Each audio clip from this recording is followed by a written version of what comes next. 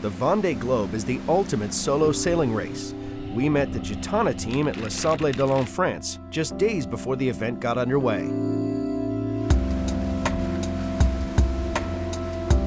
Held just once every four years, this year's race sees 29 skippers line up to sail alone, non-stop, and without assistance, over 25,000 miles around the globe. My name is Sébastien Josse. I'm part of the Gitana team and I'm skipper of all the boats in the Gitana team.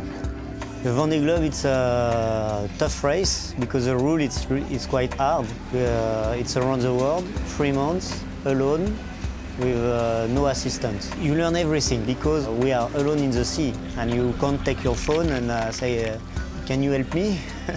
you have to, to have some knowledge to make sure if you have a trouble on board, you can make the difference like that.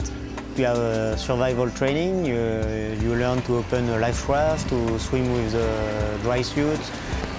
If you cut yourself, to, to sew it, you have to be strong all the time and to be really positive and like that you can go forward. 2016 will be the first Vendée Globe in which teams have used foil technology in their boat designs. This year, seven of the 29 fleet will be looking to capitalize on the top speeds achieved in other races using the groundbreaking design. So the Edmond de Rothschild is indeed a bit special because, as you can see, it's a boat that we've fitted with foils. This is something of a first for monohulls. There were trials some years ago, but they weren't very conclusive. And with these foils, today we're surpassing the top speed seen before from monohulls. We've broken the 30 knot barrier that had existed for this sort of boat.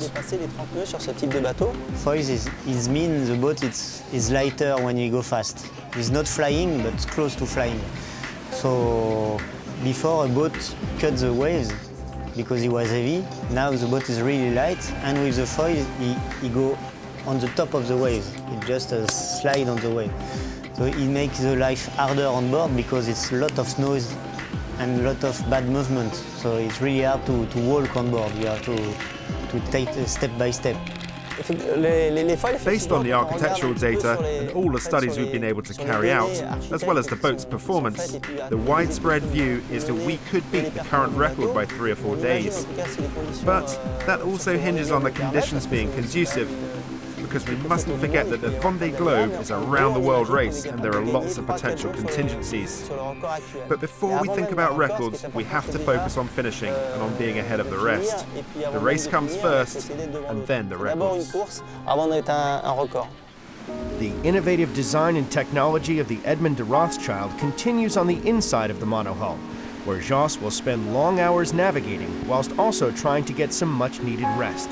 So here we are inside the boat, near the nav station. So we have a laptop with all the, the gear to make the weather and the strategy for the race. After you have the bed, it's not just for sleep, it's also to make the, the navigation because some, sometimes the boat is so bumpy. You, I can't stay in this panel, I have to, to go lay on my, on my bed. And uh, the last part is the kitchen. It's a one spot I, do, I can do everything. I can eat, make a navigation, and sometimes I can go sleep. We sleep when we can, and uh, when we sleep, we sleep 30 minutes, 35 minutes maximum. But why we sleep this uh, short time like that? Because you go outside, you do 360 degrees, look if it's no boat, and you can go again. No cloud with big storms, and when you are confident it's clear, you can go again to, to make a small sleep. With just days to go until the start of the Vendée Globe 2016, both team and skipper look to capitalize on their prior experience for a chance to win this coveted event. In 2004, uh, I, did, I did my first one, so I was really young, the youngest sailor in the, in the race, and uh, I discovered the world. It's not something you could do like that. You have to, to work a lot before, to train, to learn in the smaller boat.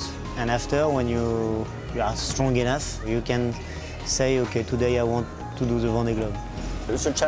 The challenge is to win. That's the only thing we're interested in, to sail as good a race as we can, but we don't just want to win, we want to do it in style.